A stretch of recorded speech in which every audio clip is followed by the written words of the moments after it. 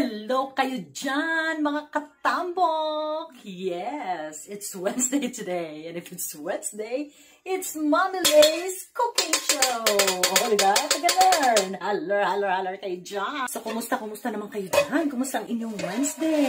Nga pala, itong mga pagluluto natin ay mga simple lang ito, mga katambok ha? Nap napakasimpleng mga ingredients na maaari mong makita dyan sa iyong talipapa. O, di ba? So nga pala, bago ang lahat, gusto ko lang i-make shoutout si Marvin Gagukas dyan na nag-request nung ating pinikpikan. Para siyang tinola, pero yung pinikpikan is Cordilleran, Cordilleran special dish. Kumbaga, ganun. Pinikpikan ang tawag nila na may itag. Ngayon, Marvin Gagukas, gusto ko lang sabihin sa'yo, no? na i-subscribe mo si Sharondan Vlog. Sharondan Vlog. Ayan, ayan po si Sharondan Vlog, ha? Nandyan i-subscribe mo siya kasi siya yung magluluto niyan. Nang sa ganun ay talaga naman, 'di ba? Mag-extend pang iyong network. Ganun. So, i-refer kita doon kay Sharondan Vlogs. Si Sharondan po ang perfect na magluto niyang pinikpika na yan. Siya po ay full-blooded Igorot. Oh, di ba? Talaga naman. Kaya alam na alam niya yung mga ganyang luto at doon ko rin, inaabangan ko rin yan. Sharondan, mega love shoutout sa'yo dyan, Sharondan. Inaabangan ko yung pinikpikan mo ha, yung authentic talaga. Yung authentic pinikpikan. Kasi inisip ko no, Marvin, pag akong gagawa, baka magawa ko lang na tinula. Hindi yung talagang, you know, yung the best pinikpikan, the authentic pinikpikan here in Cordillera. Oh. So yun na nga, ano bang gagawin natin sa araw na ito? Yes mga katambok, tayo po ay magluluto ng kare-kare. Walang karne? Akong bahala dyan. Gawa natin ang paraan niya ng lasang pork. Ay! So, let's go! So, ayan mga katambok, ayan po ang ating lulutuin ngayon ay kari-karing gulay. Diba? Kari-karing gulay, day. Ayan, so ito lang ingredients natin, napakadali no, napakasimple, talong. So, dalawang talong lang yan. Tapos ito isang bundle worth 20 pesos. So, alam na kayo dyan. Ah! Basta konti lang siya, isang bundle. Hindi ko magbilang kung ilang, ano no, ilang piraso. At saka isang bundle lang din na petchay. So, dito, sa mga gulay na ito, 60 pesos ang mga nagastos natin dyan. So, napakatulig lang ng mga ingredients. And of course, lalagyan pa rin natin ng konting karne. Kahit anong karne meron ka dyan, lagyan mo. Kung ayaw mo naman ng karne, kung ikaw ay isang vegan. Diba? Huwag mo nang lagyan. Tapos, syempre, yan lang ang ating mga lamas. Garlic lang at saka onions. Yan lang ang ating mga pang avocado. And of course, hindi natin makalimutan ang peanut butter. May peanut siya. Bilis lang bumili peanut. Pwede kang bumili yung luto na. Ito medyo ilaw pa, no? Pwede kang bumili yung 10 piso lang dyan gilid-gilid. Pwede na yun. Ganun. So, ayan. Umpisa na natin ang pagluluto, mga katambo. So, ayan. Syempre, kailangan mo rin ng mantika.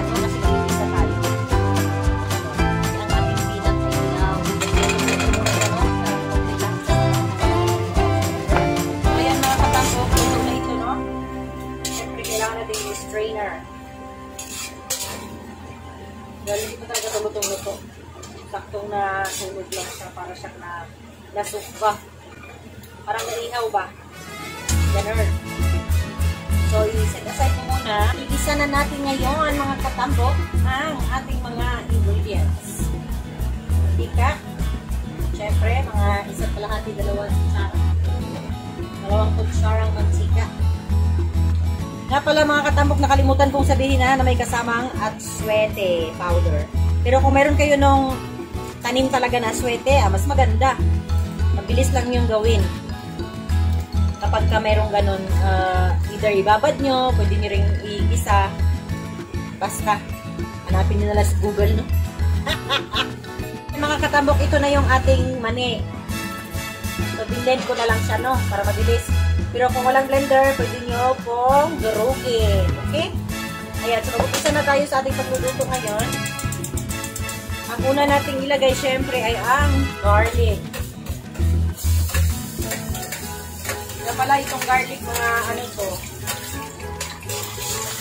para mabango ang ating niluluto. Una ang garlic. So, okay na yung garlic natin. Ilagay na natin yung ating mani.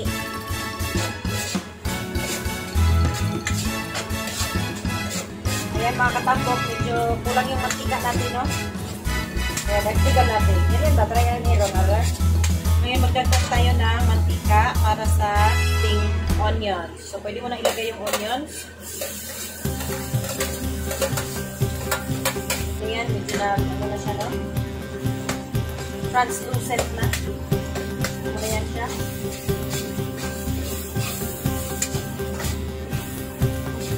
Ayan, ngayon, ilalagay na natin tong ating karne na kakarampot lang. So, ito pala, na boil na ito. Luto na ito. No? I-boil mo na. Ilagay mo na siya. Ihalo mo na siya. Takpan mo na natin. Inalang apoy. Ngayon, mga katambok, habang inaantay natin masisig yan, imimix mo na ngayon yung aswete sa medyo maligamgam na tubig. Dito ko rin siya nilagay, no? Para yung lasa ng mani makuha ka rin yun. So, ito na po yung ating aswete na powder. Dito ko na siya minix, no? At saka isang halos dalawang cup na water na ito kasi ito yung gagamitin ko. Para hindi na ako magdagdag. Magdagdag na lang pagka sobrang creamy na talaga. So, ganyan, no? Kung nasisig na siya, lalagay na ngayon natin ang aswete.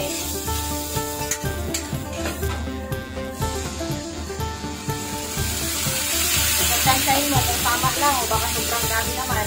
So, ngayon, papakaluin na na ngayon natin to. Habang papakaluin natin to, maglagay na tayo ng paninda. So, gagamit ako dito ng, kung meron kayo North Cubes, maglagay ng North Cubes. Gagamit ako ng seasoning. Gamit din ako ng konting-konting asin. Hindi lang. Para may lasa na yung ating base. Tsaka syempre paminta. Pero kung meron naman talaga kayong mga ingredients diyan na mga oxtail, mga beef, yan, perfect yun. Itong sa atin, pag low budget lang ito ba, na gusto mong kumain ng kari-kari, ang gusto ko talaga katambok no, yung sa base pa lang may lasa na. Ngayon, kung kukulangin ka pa sa lapot niya, doon ka ngayon maglagay ng peanut butter. Tsaka siguraduhin yung peanut butter na binili mo ay yung unsweetened peanut butter. Ito, unsweetened talaga to yung nabili ko. Dapat yung peanut butter na yan para sa tinapay. Diyos ko, wala namang lasa. Sabi ko, ayaw. Gawin na lang natin sa kare-kare. Ngayon, papakuluan na natin ito, no? So, ayan, mga katambong. Medyo okay na ito, no? Tikman natin.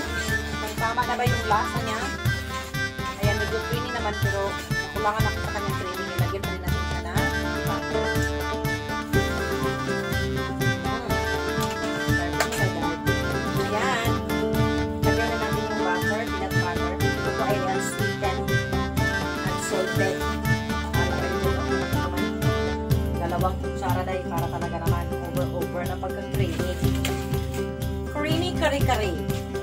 ba?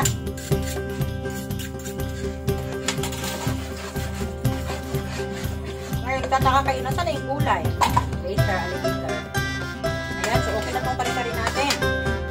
So, ganito talaga yung ginawa ko mga katabo. Kasi kung gusto mo yung kari-kari na gulay lang, kahit wala karne, ganito pa rin ang gagawin mo base. Okay? Pero this is just my way mga katabo. Paalala lang, ito po ay style lang inamilay. Nasa sayo kung gusto mong gayahin. Alright, so ngayon, isi-set aside muna natin to kasi lulutuin natin yung gulay.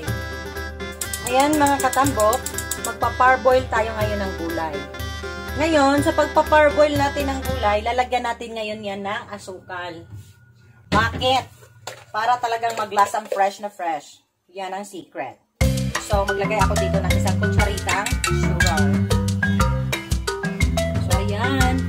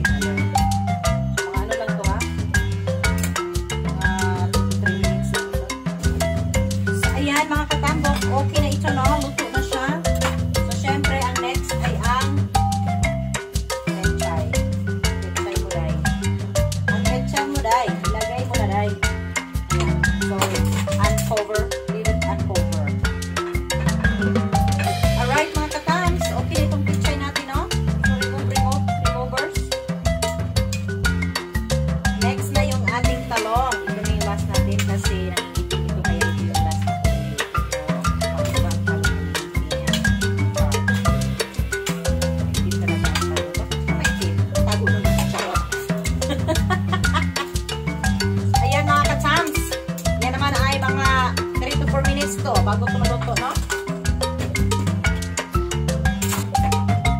Ayan, mga katams. Luto na ang ating talongers. No? Kailangan pala, no? Very important na yung talong luto-luto. Galing malata siya. So, okay na ito, syempre. Ito ulit natin. Patayin na yung kalan. Yung mga katambok nilagay ko na. Hindi na naman nakaon yung kamera natin. Eh. So, wala na akong ibang ginawa doon. After nung naluto yung mga gulay na sineparate natin,